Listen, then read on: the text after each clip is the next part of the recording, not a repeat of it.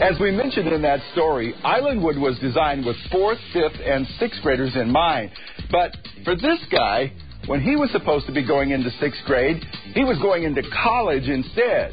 Here now is the unique story of a boy genius. This is 14 year old Andrew Hsu. You can call him a genius, a prodigy, a brainiac, but next year you can also call him a college graduate. But not one, not two, but three degrees from the University of Washington.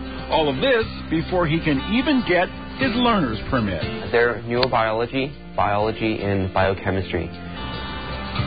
He hopes to get his first PhD before he can legally vote. But we wondered how he got here. What was it that sparked the innovation in Andrew's education? He learned to read before he was even two, and he had an uncanny ability to problem solve.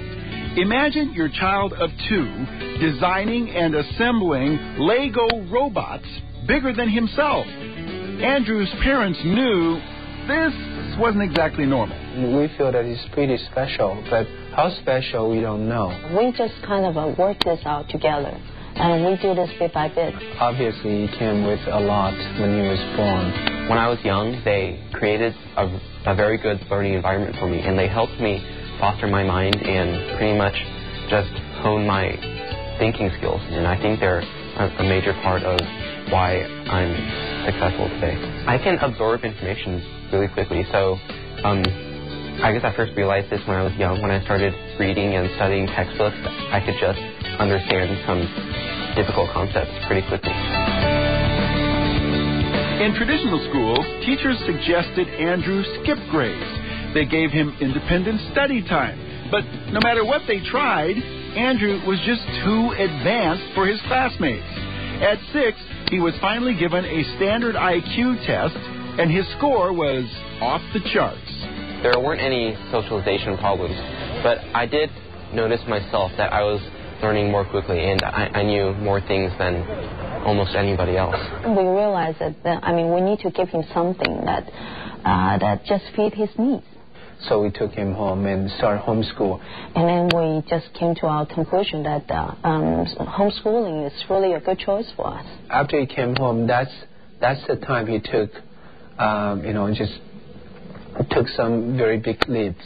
I think that was a very important point in my life because it suddenly freed me up from like the bonds of the public school system, and I was allowed to learn at my own pace, which was a lot faster than that of other students. Andrew was homeschooled from age 7 to 11. Along the way, he became the youngest student ever to win the grand prize at the Washington State Science and Engineering Fair. About the time most kids his age were excited about going into middle school, Andrew was enrolled at the University of Washington. A lot of my current friends don't actually know how old I am, maybe because I look older than I actually am. I just try to get this notion of age out of my mind because I, I just try to view myself as another student. He may try to blend in here at the University of Washington, but there's no chance of that when Andrew visits Taiwan. He's a celebrity of sorts here, and his arrival sparks a media frenzy. Even posing for a picture can be hazardous to his health. Since he's packed so much into his first 14 years, Andrew decided to share his story in this book. The name of the book is Not Just a Prodigy, the story of Andrew Hsu. And it's pretty much my autobiography, and Taiwan was the first place it was released, and it sold a lot of copies. And we hope, and I, hope to expand it to China and also publish an English version soon. I went to Taiwan for the book tour in the middle of September, and that was in, in a break between two quarters of my school. And pretty much I, I went around and talked to children at all sorts of schools, from elementary school, first grade, all the way up to college, and it was really fun. I'll do it for you. One more. As for fun back home, Andrew says he relaxes by just hanging out with his family. His brother Patrick is a year younger and in the early interest program at the U. He'll get his first degree at 18. And then there's Benjamin, who's in first grade. I think almost everything I do is fun. Like I like studying science. I like playing board games with with my brothers. Oh, and let's not forget swimming. Andrew was also a prodigy in the pool. A couple of years ago, he was ranked fourth in the nation in the 100 yard butterfly. But he had to hang up his goggles. It seems swimming was getting in the way of hitting the books. But besides moving swimming over to the leisure side of the ledger, Andrew doesn't really see a downside of being a prodigy. I've really seen no drawbacks to um, to being gifted intellectually. This way, I'm I can learn faster than a lot of other people and just absorb as much knowledge as I can, which I really like.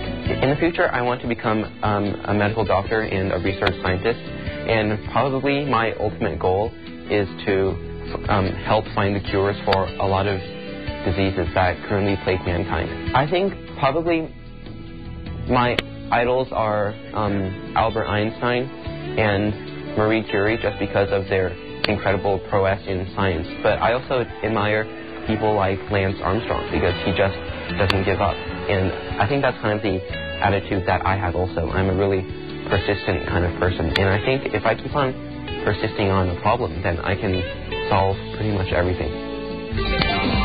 Now, in addition to all the accomplishments we just told you about, Andrew and his brother Patrick operate the foundation for the World Children's Organization. Its mission is to provide education to the world's underprivileged children. And you can find out more by visiting his website at andrewhsu, that's H-S-U, dot com.